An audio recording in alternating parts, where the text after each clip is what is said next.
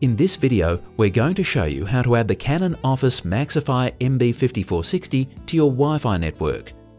Using the touchscreen, swipe across to LAN settings.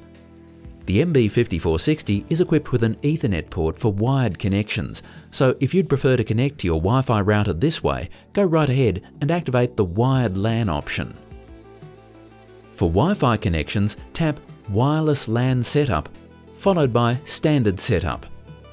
The printer will immediately begin searching for Wi-Fi routers within range. Scroll up or down if you need to, and then tap on your network name. Now press the middle of the screen, which opens up the on-screen keypad for you to input your Wi-Fi password.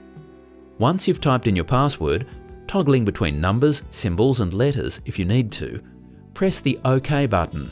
Press the OK button again to confirm the password. Now that your Canon printer has been added to your Wi-Fi network, you can go ahead and set up your computers, smartphones and tablets for wireless printing and scanning.